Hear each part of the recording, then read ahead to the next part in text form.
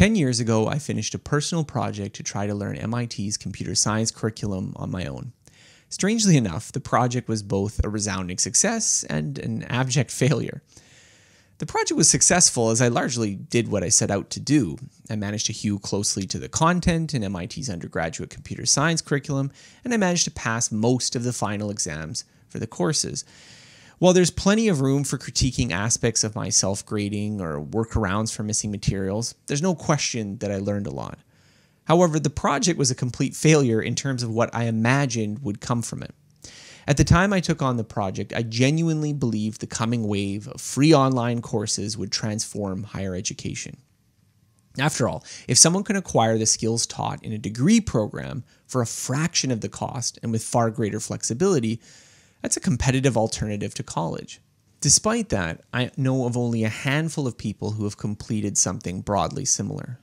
Why? What explains the lack of follow up to the MIT challenge? Why have we not seen an explosion of online education substituting for on campus credentials in the 10 years since the project was over? Well, let's look at a few possibilities. Number one, the MIT challenge is unrealistically hard for most people. Most of the attention I got for the challenge was my decision to do it in 12 months.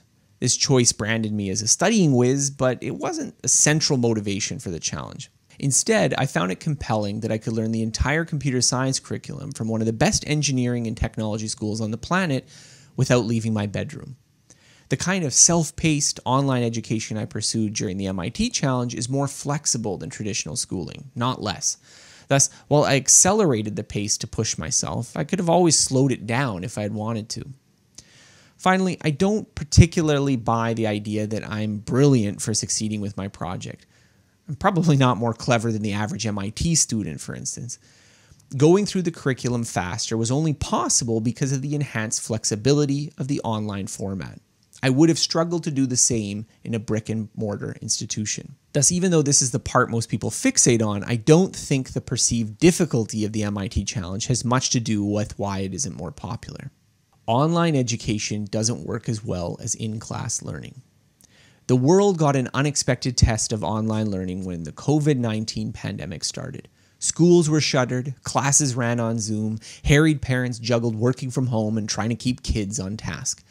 The lesson that many have drawn from this experience is that there's something important missing in online education that can only take place in a physical classroom. I'm deeply skeptical of this explanation. The COVID 19 pandemic just isn't a good experiment for online learning. Most teachers were ill prepared to transition to an online only environment, and as a result, Zoom classes combined the inefficiencies of sitting through lectures in an auditorium with the lack of supervision of at home studying. While it's certainly possible that group discussions, feedback from teachers, and accountability on deadlines, and a physical change of environment can have positive impacts on learning, none of these were impossible to implement alongside online learning in the first place. After all, if online self education really did provide a meaningful substitute for an academic degree, why wouldn't we see local study groups or on demand tutors offering their services to supplement? Number three, education is mostly signaling, and students, rightfully, shouldn't care much about learning. Another explanation is that the primary value of school is signaling. It shows that you have the smarts, work ethic, and conformity to do well rather than building useful skills. Bryan Caplan has made a spirited defense of school as signaling in his book, The Case Against Education.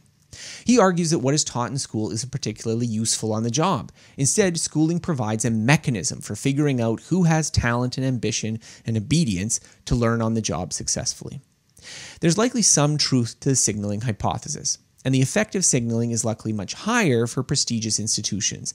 Having an MIT degree is probably more valuable than having an MIT education. However, this explanation can be taken too far. While I do suspect that the Harvard history major who eventually becomes a CEO is likely not drawing directly upon academic skills to run a company, it seems much weaker to argue that computer science education is irrelevant for success in professional programming. Programming is also an outlier because the need for credentials is weaker than in many other technical professions.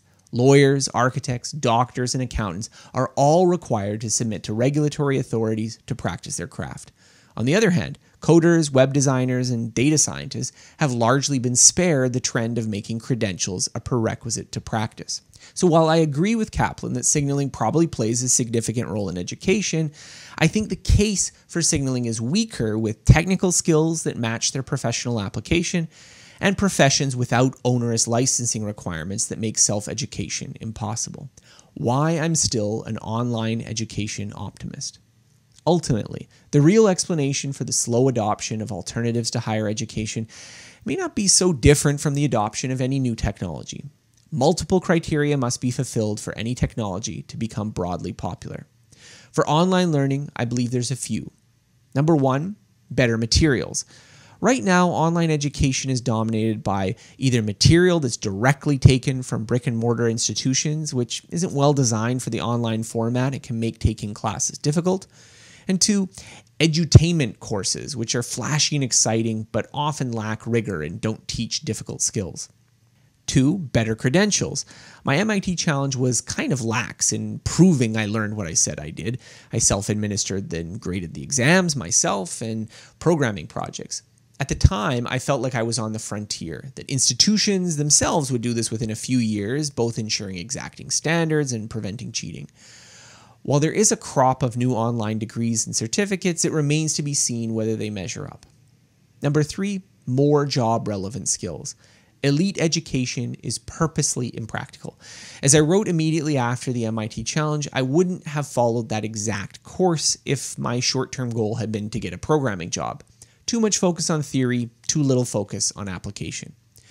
Yet a decade later, I rarely write any code, but I use a lot of the foundational ideas taught in the MIT coursework to understand other fields.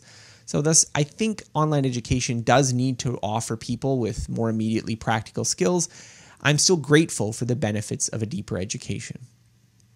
Thus, while critics of online education specifically, and education generally, make some compelling points, I'm still an optimist about the possibilities. Learning anything, anywhere, for the cost of an internet connection is still an idea worth believing in. I'm probably never going to do another project like the MIT Challenge again. I'm busier and less bold than I was a decade ago. Yet I still make a point of refreshing through MIT's open courseware catalog every few months to see if there's some new courses to watch. Perhaps the slower, less boastful approach I follow today won't get me as many new followers, but I'm enjoying it all the same.